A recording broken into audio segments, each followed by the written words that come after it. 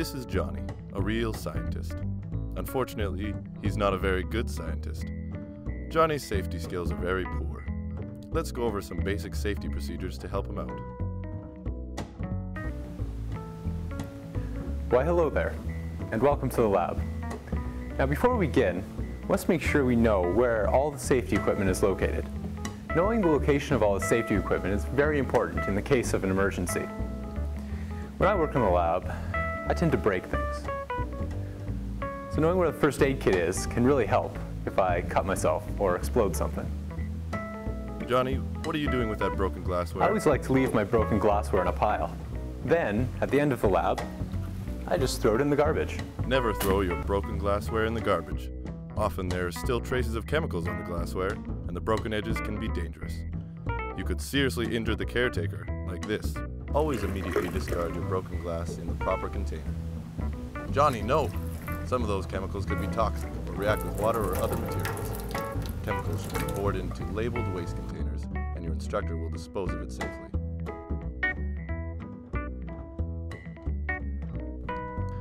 If your lab has a safety shower, it can be used to extinguish clothing fires or wash the whole body in case of large chemical spills. Make sure you remove any contaminated clothing. This is awesome. There's even a curtain for privacy in case my clothes start on fire. But how do I handle chemicals in the eyes? Well, Johnny, you would use the eye wash fountain for that. Make sure you know where the eye wash station is located. If any chemicals get in your eye, come here to flush them out. Johnny, will you demonstrate their proper use? Now I know what to do in case I spill chemicals on myself. What if there's a fire? Oh no, I'm in big trouble this time. How am I gonna put this fire out? Maybe a big bucket of water. No, Johnny, never use water on a fire in a laboratory. It might be a chemical fire and will just spread the chemicals, making the fire larger. Always use a Class BC or ABC fire extinguisher. Make sure to know where this is before you begin your work.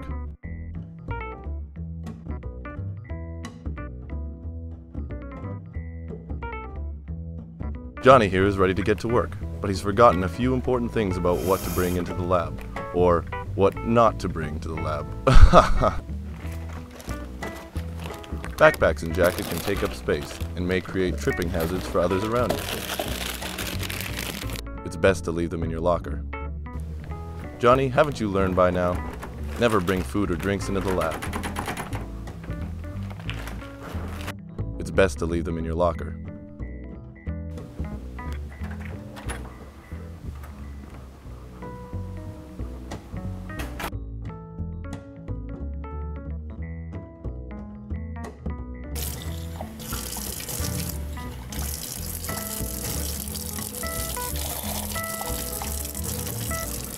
Hmm. Probably be wearing lab goggles.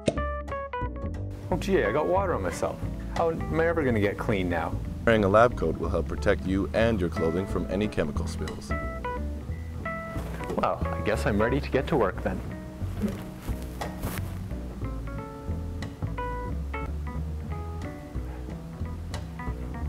Always wear proper footwear and gloves.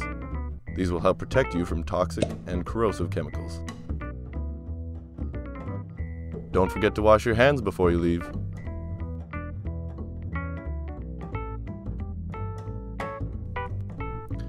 Despite our best efforts, sometimes mistakes still occur in the lab. While it is important that we try to limit these mistakes, we must know how to deal with the emergencies that may occur. Take Johnny here. The best way Johnny can prevent accidents is to keep his workspace clean. Look at all the potential hazards here. Not only is this dangerous, but the next person to use Johnny's workspace is going to be very mad at him.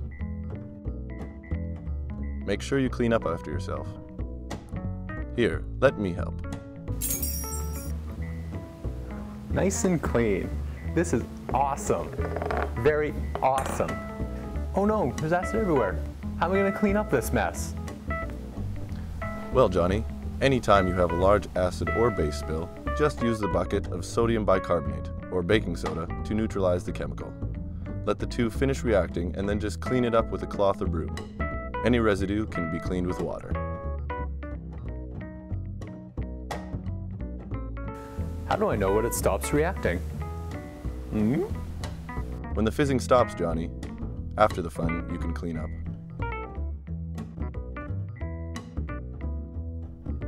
Johnny, what are you doing?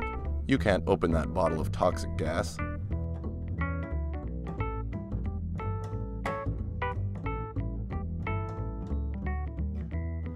Fume hoods are designed to suck the air into a vent at the top so that no dangerous gases can escape.